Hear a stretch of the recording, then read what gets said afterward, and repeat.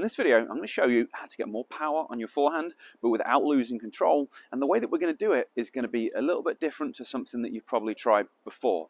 But we're going to test it out. At home, you're going to test this out with shadow swings and you'll be able to feel it. But then once you've done that, you're going to want to get out on court and do a test there. Try these drills out that I'm going to show you, and you should find that you'll be able to improve your power really quickly. I'm not going to be showing you any drills that are designed to improve your technique. That's not what we're doing here. What I'm going to show you how to do is to improve whatever swing you've got, basically instantly. We're going to improve how your body functions. It's going to make your specific swing more efficient. So it's going to work at whatever level you play at and whatever your technique looks like. You're going to test this out. So at home, you're going to do it with shadow swings. You're going to start by doing a certain number of swings. You know, just make sure that you've felt that you've warmed up and you've kind of got a gauge for what your rack head speed's like. If you know how your body feels, then you can go off the feeling. Potentially, you might need to listen to the sound that it makes to kind of gauge the change in racket head speed that way. But obviously, the best way to test this out, and I highly advise you do it, is to take this out on court and do it. Either get someone to feed you or use a ball machine or even just drop feed yourself so you can feel and see the increase in power. So the way this is going to work you're going to do a test, which means do a few shadow swings or do a few swings on court. Then you're going to do a drill, and I'm going to show you a few different drills to activate different parts of the brain that are going to be really important for having a fluid movement on your forehand. And once you've done those, you're then going to retest. So Obviously, if you're doing a shadow swings, you retest your shadow swings. If you're out on court, you retest it with whatever you're doing there. But the important thing is that you don't put any more effort in. You're not trying to hit it harder. You're not trying to change anything. You're trying to be as unsubjective as possible. Test your swings, do the drill, retest the swings as similarly as you can to gauge the response. Now on that retest, there's three different things can happen. The first thing that can happen is the speed of the swing improves, it feels more efficient, you get more power. And it'll be noticeable. The second thing that can happen is absolutely nothing. People's nervous systems are wired differently. So I'm showing you how to create certain activations, and it's going to work for some people, it's not going to work for others, and that's okay. The third thing that can happen is you can actually feel worse and get less movement efficiency.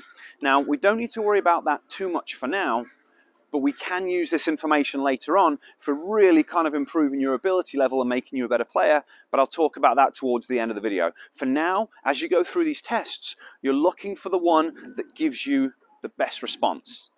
Okay, so now that you've done your first test, we're to do the first drill. The way that we're going to do this, you're going to hold your thumb directly out in front. It doesn't matter which thumb. You can use your left, you can use your right. You're then going to focus on your thumbnail, or ideally, the small part, the cuticle of your thumbnail. So you'll do that. Then you're going to keep your eyes looking at the thumbnail, and you're going to turn your head to the left and back to the middle. Turn to the left and back to the middle. And I want you to notice that as I do that, I'm going quite quickly and sharply to the left. I can still see that target with both my eyes. So if I close my right eye, I can still see the target. So that's how far I'm turning. And then I'm going back slowly. So it's looking at the target, a quick turn, still being able to see it with both eyes, and slowly back to the middle. That's what the drill is going to look like. It's going to activate a specific part of the brain. Do between 5 and 10 reps. So you can test it out with 5 reps that might have an effect. If not, try again with 10 reps, see if that has an effect. So do the drill now, then test your shadow swings, see what happens. Drill number two is going to be a little bit different. We're still going to be moving our head, but instead of having a fixed target, we're going to be moving the target at the same time as our head. Because we're turning to the left, you'll use your left hand. Again, I want you to focus your eyes on the cuticle of the thumbnail.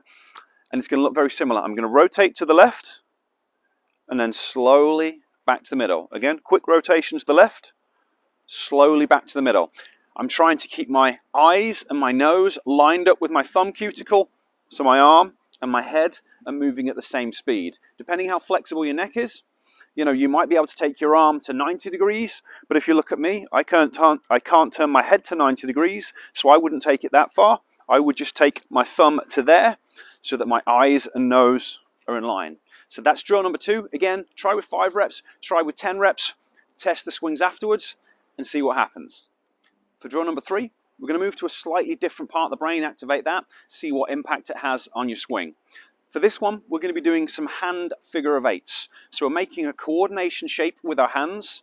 It's a great drill for training coordination as well, but we're doing it here to create the activity to see what happens. So if you look at the shape that I'm making with my hands, that's what you're going to be doing. So I'm thinking about my thumbs for now, creating a smooth figure of eight.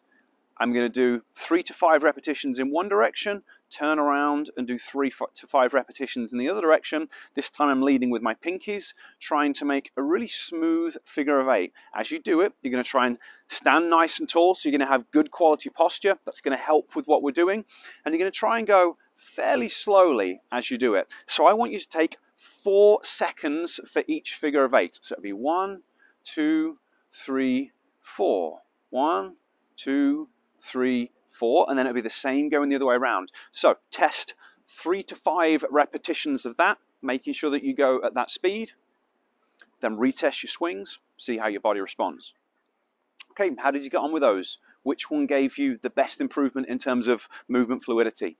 If you've done that at home, you got a nice result, I highly advise you take it out on court and test it out there. The way that you would use this is if you find a drill that works like that and gives you improved racket head speed, you can use it within your practice session. So as you're practicing your forehands, you work on that particular drill. So you're going to upregulate your system, hit more efficiently, then train your body to hit more efficiently. So now partway through I mentioned that it, sometimes you can do those drills and you get a worse response. Your movement fluidity reduces, so you've got less racket head speed.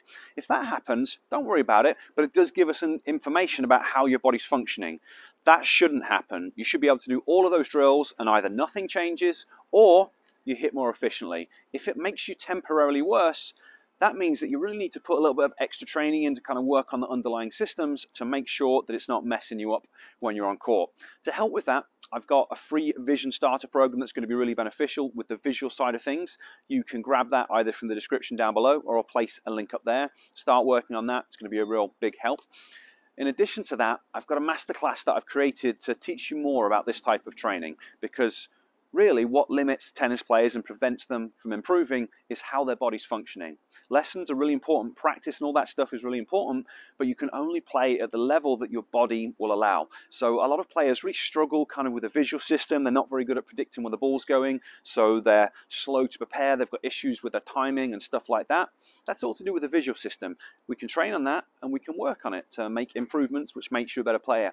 And we can also do the same thing with kind of your skill, your ability level and coordination. Because again, one of the big things that holds players back, they get a lesson, the coach tells them what to do, this is what your forehand should look like, and then they get out on court and they can't execute because their body doesn't work well enough. But this is all stuff that we can change with training. Hopefully you've seen improvements there and you're like, okay, if that's what happens when I do one drill, what could potentially happen to your performance and your ability when you do more of them? So if you would like to learn about that, I've got another masterclass or I've got a masterclass. I'll again place the link down in the description. I'll also place a link up there. And depending when you're watching this, this week I'm going to be doing a live masterclass. So if you sign up now for it, then I will see you there.